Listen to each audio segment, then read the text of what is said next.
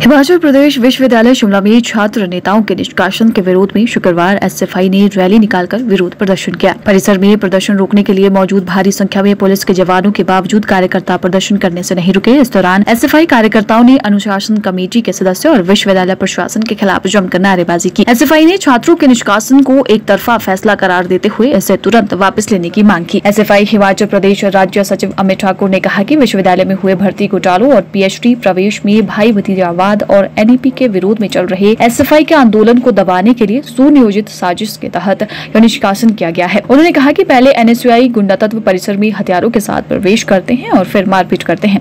इसमें एसएफआई के बारह नेताओं के सर भी फोड़े जाते हैं। इसके बाद विश्वविद्यालय प्रशासन सिर्फ़ एसएफआई के बारह नेताओं का निष्कासन करने का फरमान जारी करता है। वही उन्होंने कहा की निष्कासन वापस नहीं लिया जाता और प्रशासन या अनुशासन कमेटी की ओर से उन्हें बात करने के लिए नहीं बुलाया जाता तो एसएफआई अपने इस आंदोलन को उग्र कर शहर रेजिडेंस पर जाकर आंदोलन किया जाएगा। एस का ही जो प्रदर्शन कर रही है, उसकी वजह हिमाचल प्रदेश का तमाम छात्र समुदाय और प्रदेश भर के अंदर तमाम लोग जानते हैं।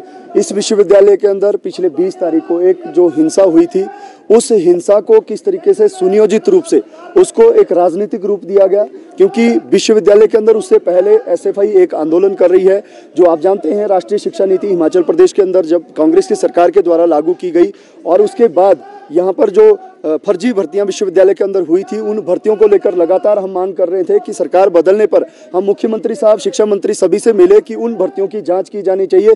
आरटीआई के माध्यम से हमारे पास सारी इन्फॉर्मेशन थी कि उसके अंदर लगभग 80 परसेंट जो भर्तियाँ हैं, वो गैरकानूनी रूप से हुई है, जिसमें फर्जी दस्तावेज़ जो है शामिल किए गए हैं तो उसकी एक जाँच होनी चाहिए। लेकिन सरकार पूरा एक साल बीत जाने के बाद भी उसको लेकर ना तो जाँच करने को तैयार है, ना ही राष्ट्रीय शिक्षा नीति को लेकर वो जो है उसको वापस लेने की जो बात राष्ट्रीय स्तर पर कांग्रेस कर रही है आपने देखा होगा राष्ट्रीय स्तर पर अलग अलग राज्यों के अंदर भी और दिल्ली के अंदर भी कांग्रेस जो है राष्ट्रीय शिक्षा नीति का विरोध कर रही है। लेकिन हिमाचल प्रदेश के अंदर यही कांग्रेस उस राष्ट्रीय शिक्षा नीति को लागू कर रही है। इसके अलावा छात्र संघ चुनाव का मुद्दा था।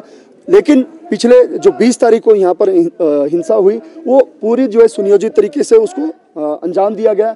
यहाँ पर आउटसाइडर लोग बाहर से आकर जो है यहाँ पर विश्वविद्यालय का माहौल खराब करने की कोशिश करते हैं और जब उनसे बातचीत करने के लिए हमारे लोग वहाँ पर जाते हैं तो किस तरीके से वो जो है तेज धारदार हथियार से उनके ऊपर हमला करते हैं और उसके बाद विश्वविद्यालय प्रशासन का जो रवैया रहता है, वो पूरे हिमाचल प्रदेश के छात्रों ने और साथ साथ अभी जो आप देख रहे हैं कि पूरे प्रदेश भर के अंदर भी लोग उसका विरोध कर रहे हैं कि आप जो है विश्वविद्यालय के अंदर जब एक्सपेल्शन करते हैं, या पहले तो यूनिवर्सिटी के ऑर्डिनेंस के अंदर कहीं ये नहीं लिखा है कि आप जो है इस तरीके की छोटी मोटी हिंसाओं को लेकर, या इस तरीके की अगर कोई इंसिडेंट विश्वविद्यालय के अंदर होता है तो अथॉरिटी के पास एक्सपेल करने का अधिकार नहीं है, या बैन करने का अधिकार नहीं है। बैन नहीं कर सकते आप स्टूडेंट को। लेकिन उसके बावजूद बारह लोगों को विश्वविद्यालय के अंदर जो है बैन किया गया एक्सपेल किया गया।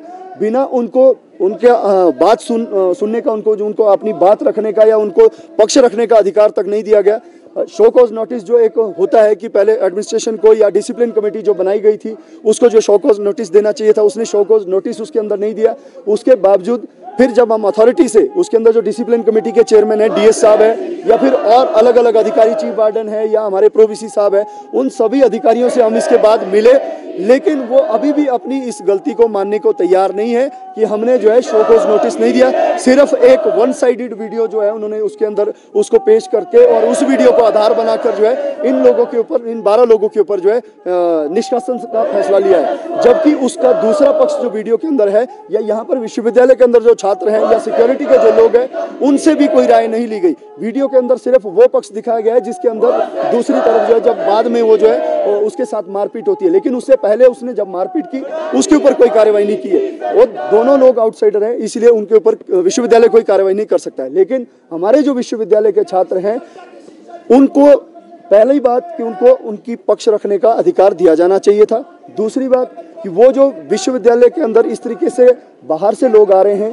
गाड़ी के अंदर हथियार लेकर विश्वविद्यालय के अंदर आ रहे हैं, उनकी गाड़ी से वो हथियार बरामद भी हुए। लेकिन उसके बावजूद भी प्रशासन कोई कार्रवाई, पुलिस प्रशासन कोई कार्रवाई नहीं कर पाया है और अभी तक पुलिस के अंदर भी मुकदमा सिर्फ़ हमारे लोगों के ऊपर, जो एसएफआई के विश्वविद्यालय के हमारे छात्र हैं, उनके ऊपर ही बना है। दूसरे पक्ष के ऊपर कोई मुकदमा दर्ज नहीं हुआ है। तो एस ये मांग कर रही है इस प्रदर्शन के माध्यम से भी ये जो इस पूरे घटनाक्रम को किस तरीके से वन साइड एक्शन पुलिस के द्वारा किया गया, फिर उसके बाद जो है विश्वविद्यालय प्रशासन भी वन साइड एक्शन कर रहा है, दूसरे पक्ष को सुनने का उसको अधिकार नहीं दिया गया है और उनको एक्सपेल किया गया है। ये बिल्कुल गैर कानूनी तरीके से किया जा रहा है। हम प्रशासन से बार बार ये मांग कर रहे हैं कि वो इस एक्सपल्शन को तुरंत वापस ले, क्योंकि आने वाले 10 तारीख के बाद विश्वविद्यालय के अंदर फाइनल एग्ज़ाम होने वाले हैं। 6 तारीख से विश्वविद्यालय के साथ पूरे जो है नेट का एग्ज़ाम भी होना है और अलग अलग प्रतियोगी परीक्षाएँ भी होने वाली है। तो ऐसे समय में विश्वविद्यालय का छात्र जो है लाइब्रेरी के अंदर जाना चाहता है, वो अपनी पढ़ाई करना चाहता है, लेकिन विश्वविद्यालय का प्रशासन उनके भविष्य के बारे में ना सोचते हुए वो एक्सपल्शन के ऊपर अभी तक खड़ा हुआ है। आज उसी को लेकर ये प्रदर्शन यहाँ पर।